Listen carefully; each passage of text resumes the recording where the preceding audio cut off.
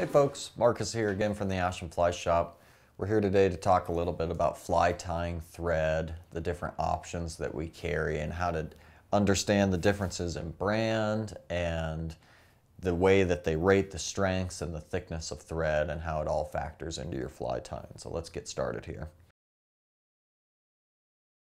So on my left here, I've got kind of a stack of uni thread in front of me um, that's ranging from 8-aught to 6-aught to 3-aught.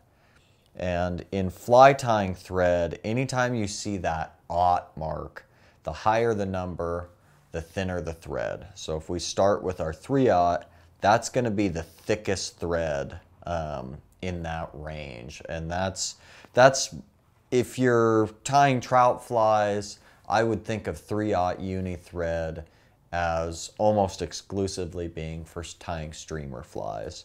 Um, once we get into 6-aught, which is you know half the amount of fibers as 3-aught, it's a much more versatile size that will open up medium medium-sized nymphs and dry flies, which will really be a versatile option. You could also use it on streamers, um, but it's going to be a more versatile option because of the size of it. Anytime you're working on like a size 12 or a 14 hook, that 6-aught is going to fit in the space so much better than a 3-aught thread will.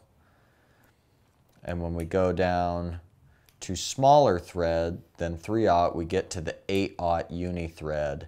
Um, 8-aught, I would say, can be used if you have, if you tie with a lighter touch, but the main purpose is going to be mainly for smaller flies. Anything size 14 and under is really going to benefit from an 8-aught thread, um, especially like your 14, 16, 18, it's almost going to require that you use 8-aught thread. Um, the nice thing about UniThread as a company is they have a bunch of different colors at their disposal. So if you're tying trout flies, you have a bunch of range between olives and oranges, yellows, grays, browns, black, obviously. As we get into different companies, they each have their own way of rating the strengths of thread.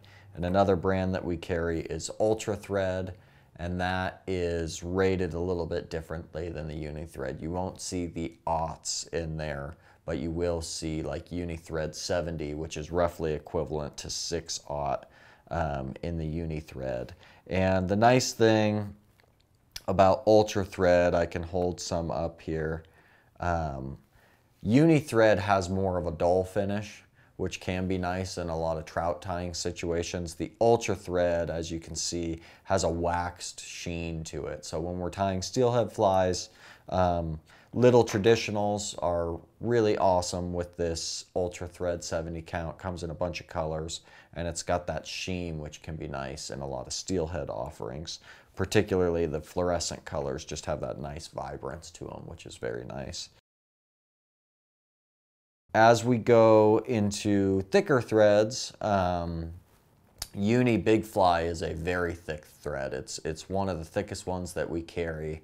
Um, really strong, really thick, comes in a couple different colors. Um, for me, has become a little bit too big to work with in a lot of situations. I just found myself building up the heads more with them. Um, but some people really like the big fly thread, and so we've kept it around.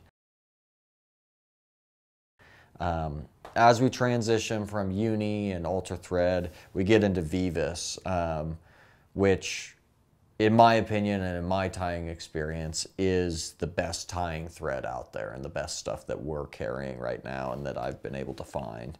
Um, comes in a couple different flavors. You will see it rated um, in one in in terms of denier. So this is one Veevus 140 power thread, which means it's 140 denier, which is a very appropriate all-around intruder, shank fly, tube fly type of thread. Um, it's got a lot of nice colors to it. It's very strong. It's it's pretty thick. It's about as thick as 3-aught uni, but it's much stronger, so you can really pull on your materials and cinch them down. And similar to the Ultra Thread, it's got that nice vibrance to it, um, which is nice in a lot of steelhead applications.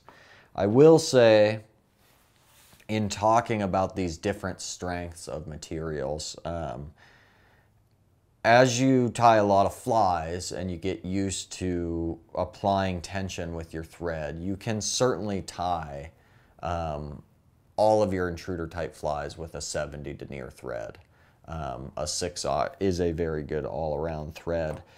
There are some people who are more heavy handed who have a tendency to break thread, or it's just um, a comfort thing of being able to really pull on the thread as you're securing materials. And anytime I hear about people breaking threads or having issues, I recommend to just go a step up in thread. So if you're just starting out, um, Veevus 140 is a great steelhead all around kind of shank fly thread. A whole different world of threads from those gets into the Veevus gel spun stuff, which is which is all right here and comes in different deniers from 30 denier on the really light end up to 200 denier. So it's kind of confusing because, you know, with 8 aught, we had those aughts, and the bigger the number, the smaller the thread.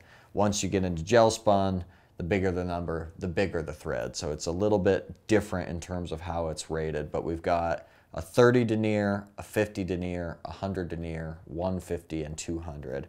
I would say in my mind, the 150 and the 200 denier um, Veevus gel spun threads are a little bit specific use. They are very thick um, because of the way the strands of material come together.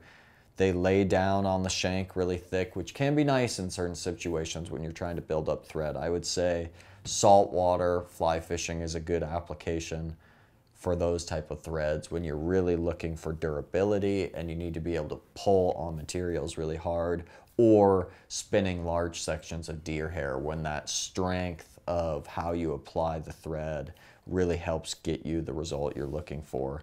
The most common gel spun threads for our purposes are going to be the 50 denier and the 100 denier.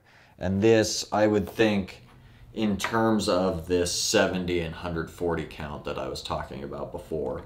If you do not have a problem breaking threads, it just doesn't come up for you very much, I would recommend the 50 denier Veevus gel spun. That, that's the thread that I use almost exclusively now. I use this 50 denier Veevus gel spun in black for, I would say, 9 out of 10 flies I'm tying right now have that thread with them and I just really like the way it works.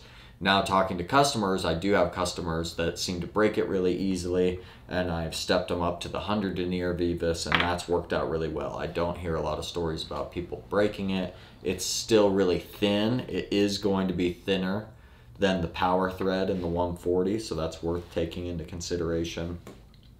The big downside, I would say, to Veevus Gel Spun, as you can see on the table, it's just offered in white and black. Um, I use black because I tend to tie a lot of darker flies, but if I'm tying pinks or light oranges or white steelhead flies, um, or if you're doing traditional steelhead flies and you've got light dubbing materials or light flosses, that's when white comes in handy. But it is true that you are limited to just those two colors as opposed to this, you know, kind of nice color offering in Power Thread or Ultra Thread. One thing that you can do if you, like me, become really fond of the gel spun stuff from Veevus is you can tie the whole fly um, with your gel spun and then just get to the very head and put a fluorescent head on there. And that's a way, in steelhead flies, you see a lot of bright orange heads, bright pink or chartreuse. And that's a way to keep the thread wraps minimal throughout the body and then you still have the option to use those fluorescent heads to top off the fly, which is a nice thing. I will say with gel spun, um, because of the way that the fibers come together, it does have a tendency to split more than other threads, um, which can be an issue. If you're splitting dubbing or splitting thread for using dubbing loops and stuff like that, I would recommend gel spun because it splits so easily. Um, but it is true that it, it can be an issue if a, if a thread spool splits at one point, it can be kind of hard to get those fibers to come back together. Personally, I haven't had too big of an issue with it, but I have heard of that from customers, so it's something to keep in mind.